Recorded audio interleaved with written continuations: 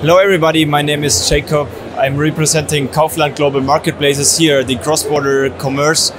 I'm here for getting into direct interaction with our partners, with our sellers, uh, to talk about challenges, about opportunities, about the potential of this fantastic marketplace business today.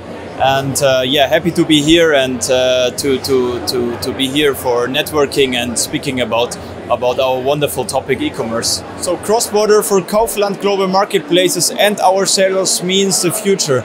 So internationalization is the future, but we also need to look at the challenges to, in order to really get the, the full potential out of the opportunities in order to, to have a nice future and uh, yeah, let's rock it.